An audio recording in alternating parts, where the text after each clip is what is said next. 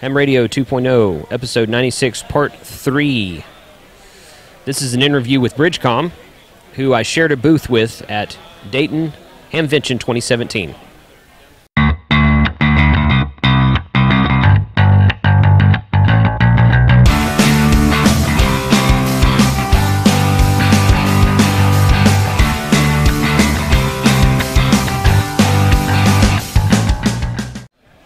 Hi. Once again, I prove how short I am.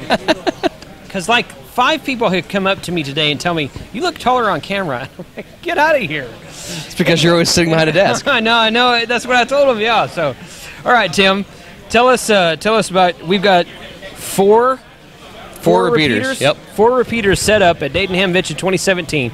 Go ahead and tell us about your setup here. Uh, we have uh, three linked repeaters here. We have a 220, uh, 50V, and 40U. And for those of you that may not know the model numbers, uh, 220 megahertz, 1.25 Yep. meter. Yep. 50V is VHF or 2 meter. And then the uh, 440, 40U. Why is it 50V? Because that sounds like six meters to me. It does, I know. so 50 because it's 50 watts. Oh, okay. And it's 50 watts. VHF. Okay. Remember, well, these guys- technically six meters is VHF. Yeah, Technically. Technically, it's 220 is as well. yeah, that's true. All, yeah, We 220 is VHF. yeah, yeah, yeah, right. Okay. So right, we can go down that rabbit hole another day. yeah, yeah. Uh, but we have the more important thing is we have the three of them linked uh, Okay. with the ARNS. That's these three boxes up here on top. okay. Uh, ARNS is amateur radio networking system. Yep. So if hey Daniel, key up that radio. That. Nope, nope. That one. Yes. Perfect. This is the system we, we talked about at Green Country. yes, yes. So if he if Daniel keys up that radio, Yep. watch the lights here. Okay. Yeah, it's got to be on. Yep. yep. Technical difficulty. Turn it on.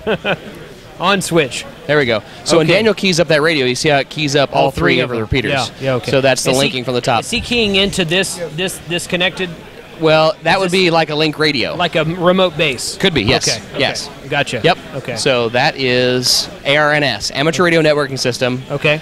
Radio over IP gateways here on top. Yep. Linking all three together. Gotcha. Okay. Okay. Next, we have the 220 D Star. 220 D Star. Yep. Only one radio in the world that works with 220 D Star. Yes. But we all know what cool, that though. is. But it's Yeah, cool, right? Yeah, that's cool though. So the, f- the folks next door to us here at Northwest Digital, we're Yes. nice enough, Yeah, nice, right? Okay. Nice enough to work with us, Yes. and we've created a 220 D Star kit. okay. So it's everything you need in a box.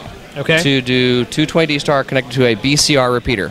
So Okay. not only will it work on the 220, Uh huh. but it'll also work on the 50V and the 40U. So you could do 2 meter, you could do 440, or you could do 220.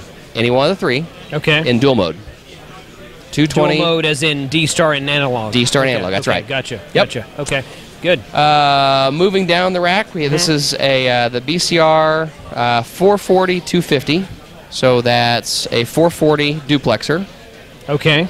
Okay. Okay. Running a max of 250 watts, or could run up to 250 watts. Okay. Okay. Okay. Um, good specs on it. Ignore the BCR repeater here. That's not actually what it is. Okay. Just a good place to stick it. Okay. oh, okay. Okay. Um, gotcha. And then down here we have the, the two meter version, which Okay. is 144 250. Again, 250 watt duplexer Okay. Okay. for two meter. Good. Uh, so 440 so- duplexer and two meter duplexer. You bet. You have a 220 duplexer, I know. It's sitting over there on the table. Okay. okay. And I've also got the mobile style that goes on the internal of the Okay. uh, 440 repeater. okay.